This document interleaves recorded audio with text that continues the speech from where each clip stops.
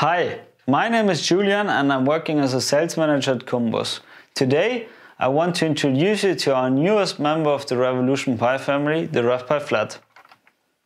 What probably strikes you immediately is the untypical design, which is clearly different from our well-known RevPi Core and RevPi Connect modules, and more similar to the design of the RevPi Compact.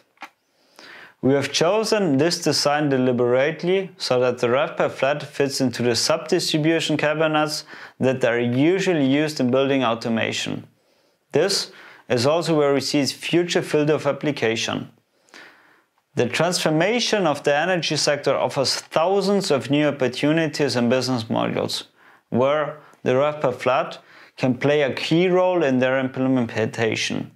For example, as an edge device for the energy management of small power plants such as solar, biogas plants or simply for controlling and regulating charging stations for electrical cars. As you probably know, tamper resistance plays a critical role in the energy sector.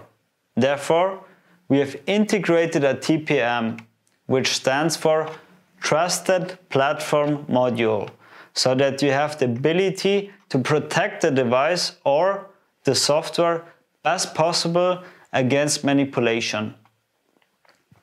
To protect against tampering, we have also deliberately omitted the usual micro USB socket, so that no software image can be installed by just plugging in a manipulated USB stick. Although the RevPi Flat just like the RevPi Compact is not modular, but still the device has a variety of useful interfaces. As the first RevPi ever, the RevPi Flat is equipped with wireless LAN via RP SMA socket. Another SMA socket serves as an interface for the ISM 868 MHz band. So you can use M-Bus wireless as long as you have the corresponding protocol, but which is for now not yet part of the device and might be included later onwards. Besides two RS485 and two USB interfaces, the device also has four Ethernet ports, three of which function as switches. So, you have two separate Ethernet ports which each its own MAC address, so you can connect the RevPi Flat to two separate networks at the same time.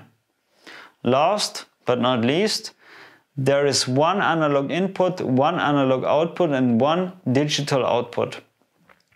So, which compute module is the RevPi Flat equipped with? Well, the RevPi Flat is equipped with the well-known Raspberry Pi compute module 3 Plus, which is also used in our other RevPi modules. The operating system is again our specially customized and continuously maintained and improved Raspbian operating system, which, among other things, has a real-time patch and Modbus support. Well, that's about it regarding the first quick overview of the RevPi Flat. So, thanks for watching this video, until next time. Bye bye.